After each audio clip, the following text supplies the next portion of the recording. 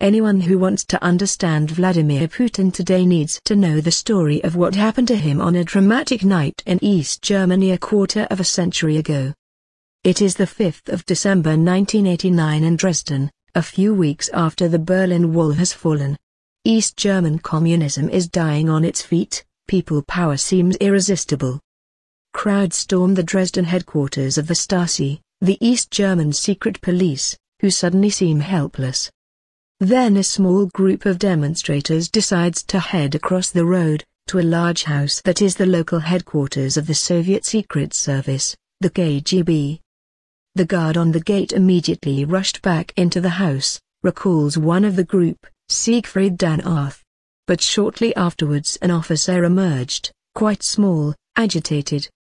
He said to our group, don't try to force your way into this property. My comrades are armed, and they're authorized to use their weapons in an emergency. That persuaded the group to withdraw.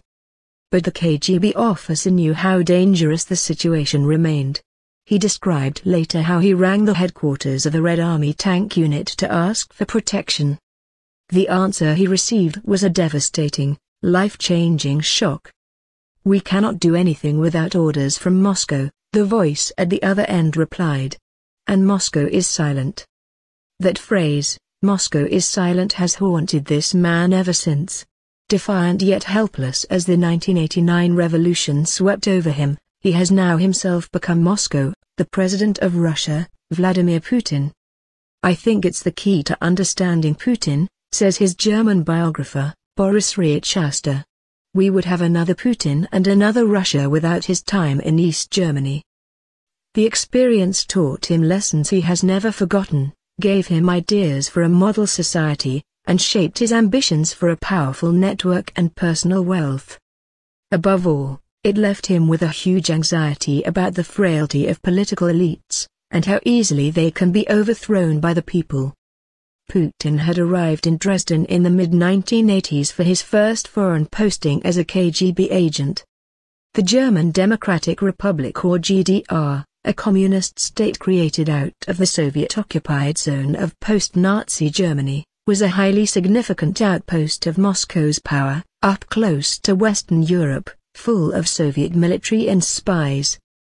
Putin had wanted to join the KGB since he was a teenager, inspired by popular Soviet stories of secret service bravado in which, he recalled later, one man's effort could achieve what whole armies could not. One spy could decide the fate of thousands of people. Initially, though, much of his work in Dresden was humdrum. Among documents in the Stasi archives in Dresden is a letter from Putin asking for help from the Stasi boss with the installation of an informer's phone. And there are details too of endless Soviet East German social gatherings Putin attended, to celebrate ties between the two countries.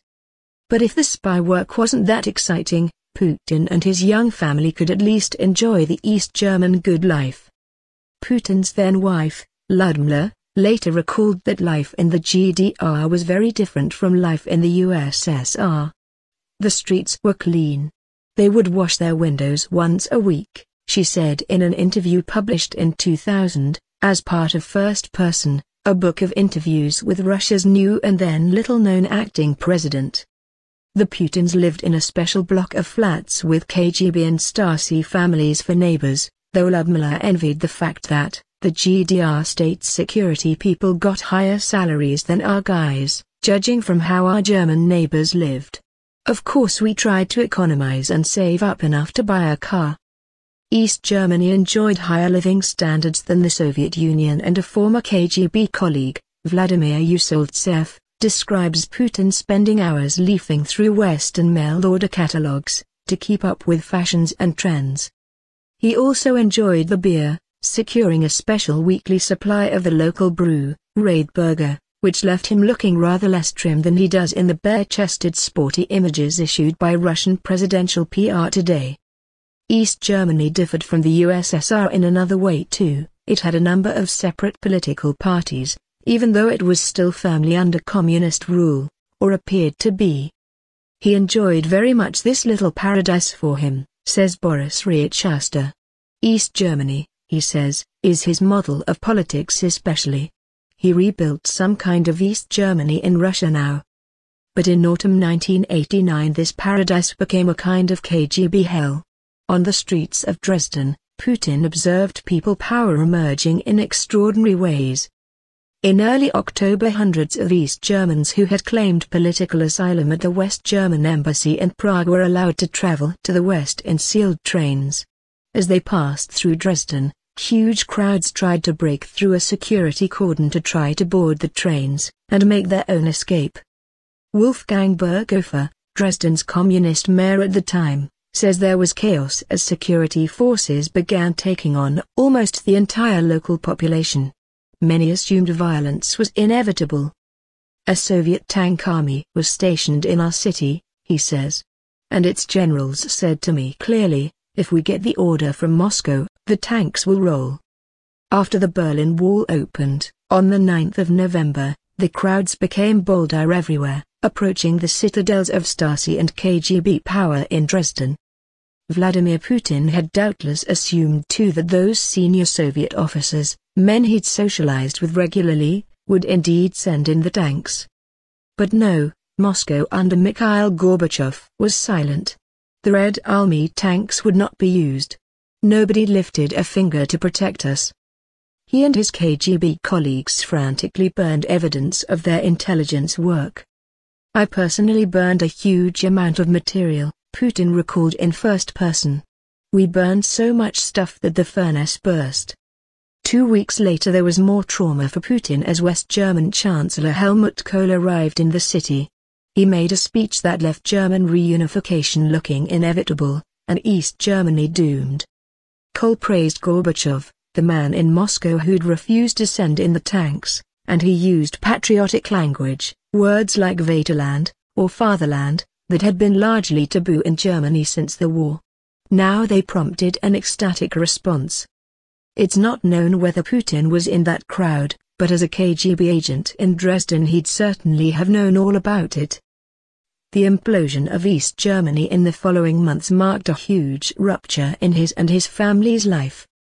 We had the horrible feeling that the country that had almost become our home would no longer exist, said his wife Ludmila.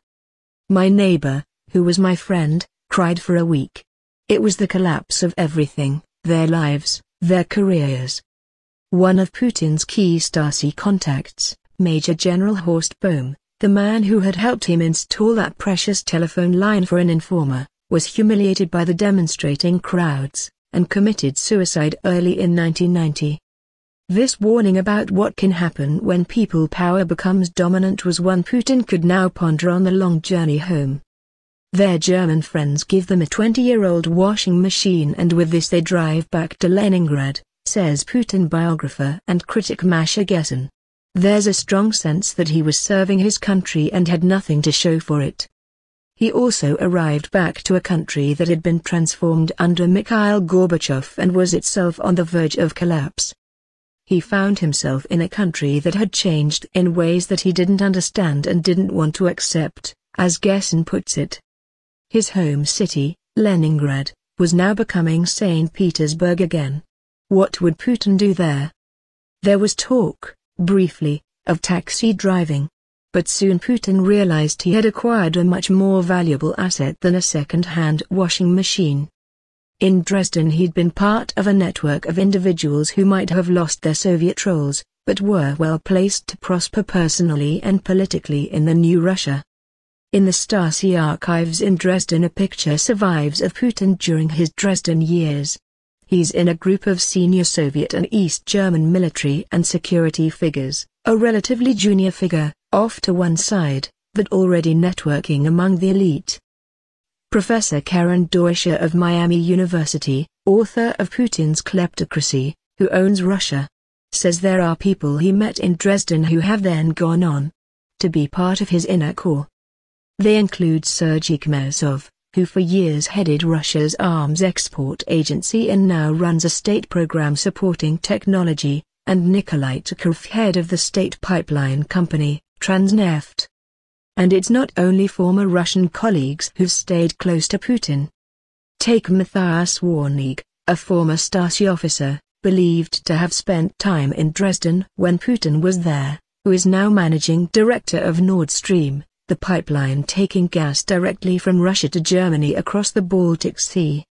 That pipeline symbolized what was seen, until recently, as Germany's new special relationship with Russia, though the Ukraine crisis has at the very least put that relationship on hold. Putin watchers believe events such as the uprising on Kiev's Maidan Square, have revived bad memories, above all, of that night in Dresden in December 1989. Now when you have crowds in Kiev in 2004, in Moscow in 2011 or in Kiev in 2013 and 2014,